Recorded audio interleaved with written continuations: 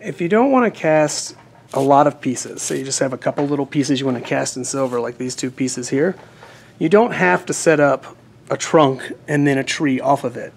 Um, in that situation, just because you're casting those couple pieces, all you got to do is just get a little tiny bit of wax off of here, and then you can take these pieces off. Now, in this particular case, I don't mind the length of these being cut off, so I don't have an extra sprue that I'm putting in. But you always want to add that little bit of sprue to make it easier to cut off if the piece needs it. So let me get this on here real quick. That was shaky. Knuckles are freezing up.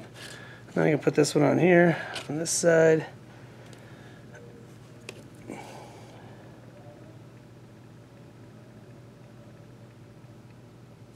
And just make sure they're in there sturdy. And I'll put a little extra wax around the bottom just to make sure you got a clean connection and oop, it's got one on me.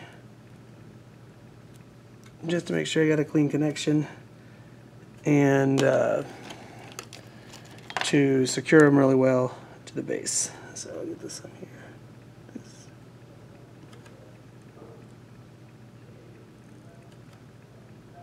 Over there. And then in a situation like this, this is when you're trying to avoid using too much metal because you're going to cast in silver or something like that. You're going to avoid all that extra sprue. And then that's all I have there. I'll just need the metal for these two little pieces plus a little bit for the button.